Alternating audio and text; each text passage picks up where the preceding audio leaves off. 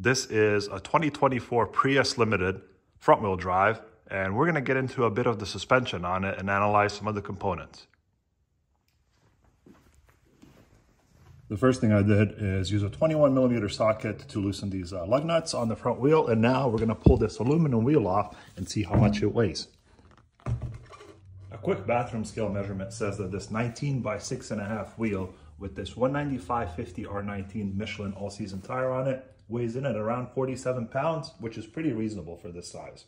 Going back over to the car, we see that the front suspension is very familiar to anyone that's seen any recent Toyota front-wheel drive or front-wheel drive based all-wheel drive product with a McPherson strut set up here and some familiar components. The first thing we see here is this brake caliper, which is a floating design with a single piston. The brake caliper pattern appears to match the Corolla hatch that I've seen recently, as does the caliper itself. This is an Advics unit uh, with markings of 57-22, and below that it is marked as L61. On the back side, we can see the bleeder and the mounting bolts, and the mounting bolts appear to be spaced at around 130 millimeters, which could be similar to other Toyota models. Moving on from the brakes, we see this upright or knuckle here uh, that the strut is mounted to, and we can see where it connects to the ball joint down here, along with how it connects to the steering. This is really a very standard design for Toyota. I would call this their kind of corporate upright for front wheel drive vehicles. You can see it on a lot of their models, ranging from stuff like the Prius and Corolla to the Camry and even like up to the Highlander. The strut assembly attaches to the top of the knuckle here, and you can see this bottom bolt has an elongated machined area, and that is for an eccentric bolt, basically to allow you to adjust camber on the car. The best way to look at the camber measurement is to look at the rotor here in relation to these two bolts, and it's pretty neutral here, but if for some reason, say you wanted to give it some negative camber for performance reasons, you could theoretically put uh, put this eccentric bolt in a different position that would allow the knuckle to tilt out a little bit, basically pointing the rotor closer to the top bolt here on the strut and tilting the wheel in that direction. Moving to the bottom side of the knuckle, we see the ball joint here, which is fortunately fairly easily serviceable as it bolts to the lower control arm, which is this L-shaped unit that's pretty standard on a lot of front wheel drive cars.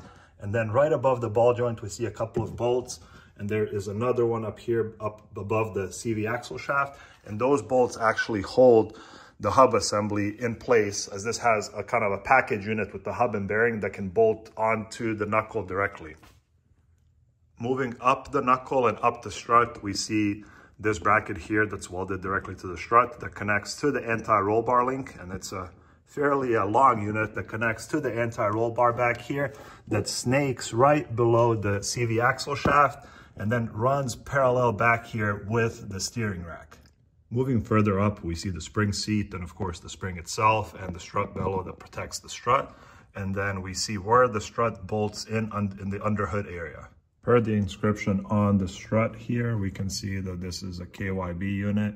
Uh, and again, looks very similar to stuff that I've seen on something like a Corolla hatch. So I wouldn't be surprised if it's a variant of one of those uh, pieces.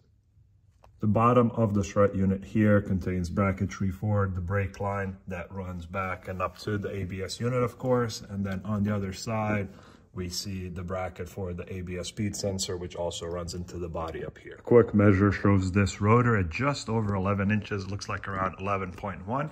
And as we can see with Regen Active on this Prius, it doesn't have a lot of wear even at 10,000 miles as this is pretty smooth, almost close to factory finish. On the back side of the rotor, we see this brake dust shield that has some cooling vanes on the bottom. And right behind that, we see the other side of the upright with the ABS speed sensor installed directly into it. And then the connection that goes to the tie rod going all the way back to the steering rack here. This is a pretty common design for Toyota front-wheel drive vehicles for a while, and front-wheel drive vehicles in general that you'll see that employ a McPherson strut setup. Uh, and the steering rack assembly appears to be something that we've seen on a lot of recent Toyotas, including the GR Corolla, which may open up some options for upgrades on this car for people that maybe want a little bit of a better steering. The L-shaped control arm that we see below here obviously connects to the ball joint at the front, then connects to the subframe over here, and then we see this bushing that connects to the rear of the subframe. This is also a very common design.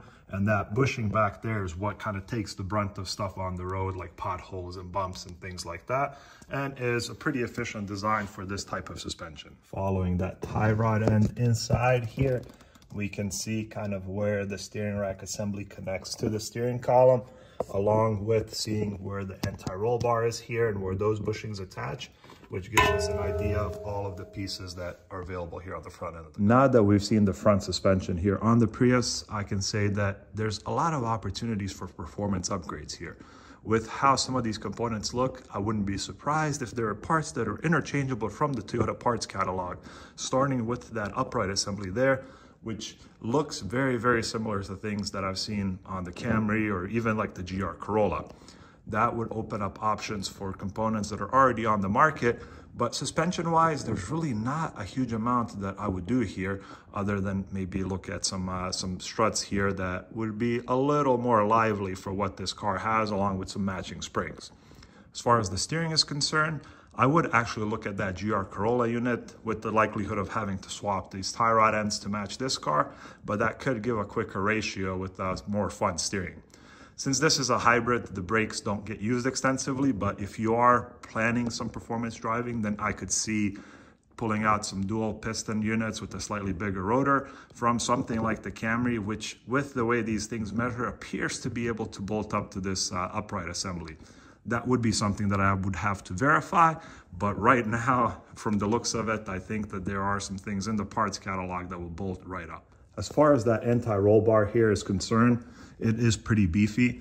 And in this scenario, with the way this car drives, I would actually go for a softer bar here in the front just to kind of reduce some of the understeer that I've noticed, or go for a stiffer bar back in the rear, which we'll get into here shortly. Moving to the back of the Prius gives us an idea why the handling is so good because it uses a multi-link setup. Getting in closer here, we see the rear knuckle has two attachment points at the front and instead of two individual links, we have a big old trailing arm that attaches to both points.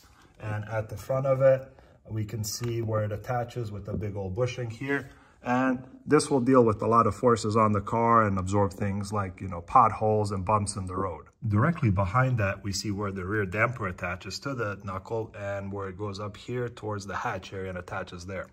Uh, with this setup, the spring is actually separate and sits in this bucket, which we'll look at here shortly. As this is a multi-link setup, the top of the knuckle is not attached to the damper like we see in the front, but instead is attached to this arm here that goes towards the rear subframe. This arm is what sets the camber for the rear and would be something to adjust if you were looking for performance advantages. Beside that arm, we see some bracketry for things like the rear parking brake cables, plus uh, brake lines and ABS uh, speed sensor wiring, and uh, just kind of all the accessories there. Moving further from there, we see this rear brake caliper with a single piston, along with an integrated electronic parking brake, and a brake rotor that's slightly smaller than what we found in the front.